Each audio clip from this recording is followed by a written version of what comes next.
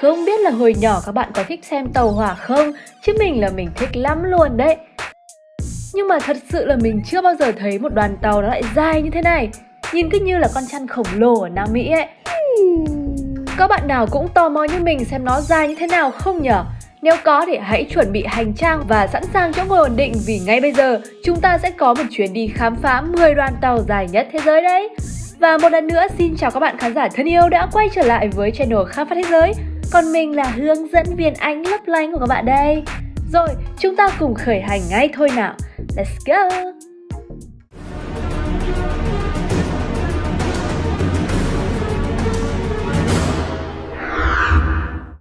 Mở đầu chương trình là đoàn tàu lập kỷ lục dài nhất lịch sử ở Tây Úc vào năm 2011, đó là BHP Iron Ore. Đây là đoàn tàu được vận hành bởi công ty khai thác tài nguyên đa quốc gia BHP, có nhiệm vụ vận chuyển quặng sắt trên một tuyến đường giữa mỏ Zandi và cảng Headland.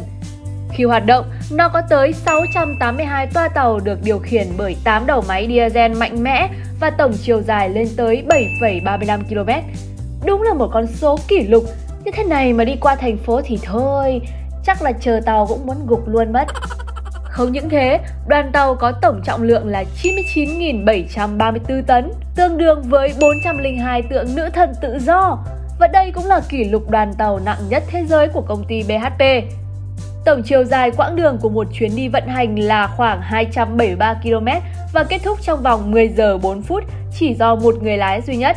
Và đây cũng là chuyến đi phá vỡ mọi kỷ lục đã có trước đó. Cho tới nay, đoàn tàu BHP Iron Ore vẫn đứng đầu danh sách đoàn tàu chở hàng dài nhất thế giới. Vị trí thứ hai cũng có chiều dài sấp xỉ với kỷ lục thế giới vừa nãy, đó là đoàn tàu hoạt động trên tuyến đường sắt Station Sodanha ở Nam Phi, chuyên xuất khẩu quạng quanh khu vực Northern Cape với Western Cape. Nó có 660 toa tàu được kéo đi bởi 9 đầu máy điện xoay chiều 50.000V, tương đương 7 đầu máy diesel và có tổng chiều dài là 7,3 km. Một con số cũng khá kinh khủng đấy nhở, chỉ ngắn hơn một chút xíu so với đoàn tàu vừa nãy mà thôi. Mặc dù có chiều dài gần bằng BHP Iron Ore, nhưng nó lại nhẹ hơn đáng kể với trọng lượng là 71.765 tấn. Tổng quãng đường mà đoàn tàu này phải vận hành trong một chuyến đi là 861 km và kết thúc trong vòng hơn 3 ngày dưới sự điều khiển của các nhân viên. Trước đây, nó đã phá kỷ lục đoàn tàu lớn nhất thế giới vào năm 1989 và còn được mệnh danh là con quái vật của đường sắt. Đứng thứ ba trong danh sách này là đoàn tàu chạy từ Ekbatys ở đông bắc Kazakhstan đến dãy núi Uran ở tây bắc Kazakhstan. Đây là chuyến tàu được sử dụng để vận chuyển than cho các nhà máy nhiệt điện trong vùng và các khu vực lân cận. Được trang bị 440 toa, đoàn tàu chở hàng này có chiều dài tổng thể là 6,5 km và có trọng lượng lên đến 43.400 tấn. Hoạt động trên đường sắt Kazakhstan, nó nằm trong vùng đội tàu vận chuyển hơn 330.000 tấn than đến các nhà máy ở Ekbatys và Krasnogorsk. Nó đã thực hiện chuyến đi kỷ lục từ ga Ekbatys vào ngày 20 tháng 2 năm 1986 Thời gian vận hành giữa Ekbatys và Uran là khoảng 33 giờ 13 phút với khoảng cách 2.154 km, đã bao gồm thời gian nghỉ trung bình khoảng 1 giờ. Thông thường, hàng tuần sẽ có 7 chuyến đi mặc dù lịch trình cuối tuần và ngày lễ có thể thay đổi, thế nên họ phải kiểm tra dịch vụ trước. Vị trí tiếp theo là đoàn tàu cũng dài ngang ngửa với vị trí thứ ba vừa xong, đó là đoàn tàu chở hàng do Norfolk and Western Railway vận hành và được sử dụng để vận chuyển than dọc theo tuyến Eger Portsmouth. Đoàn tàu tổng cộng có 500 toa được cung cấp năng lượng bởi 6 đầu máy trải dài suốt quãng đường và tổng chiều dài là 6,44 km. Những đầu máy này là động cơ diesel 60 EMD SD45 do General Electric sản xuất. Với trọng lượng lên tới 48.170 tấn thì nó là một đoàn tàu khá nặng so với chiều dài. Nó đã thực hiện hành trình kỷ lục vào ngày 15 tháng 11 năm 1967 từ Eager ở Tây Virginia đến Portsmouth ở Ohio, trong khi chất đầy than ở các toa tàu. Tiếp theo là chuyến tàu chở hàng ngắn hơn chuyến trước, chính xác gần 1 km, được vận hành bởi công ty đường sắt Union Pacific, hoạt động trên tuyến đường sắt từ Texas đến Los Angeles và sử dụng một chuyến tàu chở hàng tổng hợp được lắp với 296 toa tàu dạng container. Đoàn tàu có tổng chiều dài là 5,5 km. Thay vì chở nguyên liệu thô thì nó chở các container vận chuyển có tổng trọng lượng là 14.059 tấn, cũng nhẹ hơn đáng kể so với các đoàn tàu chở hàng dài khác. Và nơi nó chở tổng cộng khoảng 600 container xếp chồng lên nhau. Chuyến tàu này đã thực hiện hành trình vận chuyển từ ngày 8 đến ngày 10 tháng 1 năm 2010. Các toa tàu được cung cấp năng lượng bởi 9 đầu máy diesel điện và di chuyển với tốc độ tối đa là 112 km/h. Chúng ta cùng tiếp tục đến với một trong những chuyến tàu dài nhất của công ty đường sắt BNSF hoạt động trên tuyến đường sắt từ Los Angeles đến Clovis, New Mexico. Và đây cũng là chuyến tàu chủ yếu được sử dụng để chở hàng hóa hoặc nhiên liệu tổng hợp. Được vận hành bởi công ty BNSF, đoàn tàu này chở tới 458 toa, có tổng chiều dài là 3,91 km, đã phá kỷ lục trước đó về đoàn tàu dài nhất của BNSF với chiều dài hơn 3 km một chút chỉ với 435 toa. Và nó được cung cấp năng lượng bởi 7 đầu máy diesel giải khắp chiều dài của đoàn tàu. Chuyến tàu chở hàng hóa này là một phần trong sáng kiến của nhà điều hành bắt đầu vào năm 2007 để thử nghiệm các chuyến tàu dài hơn.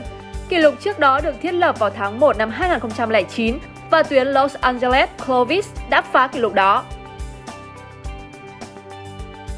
Vị trí thứ 7 trong danh sách này là đoàn tàu Vasuki, là chuyến tàu dài nhất của công ty đường sắt Ấn Độ hoạt động trong khu vực trung tâm Đông Nam ở Ấn Độ, di chuyển chủ yếu trên tuyến đường sắt từ ga Bhilai tới ga Koba.